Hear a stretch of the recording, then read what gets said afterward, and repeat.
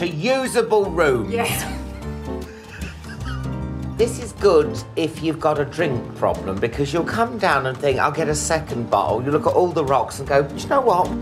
I'm going to go to bed.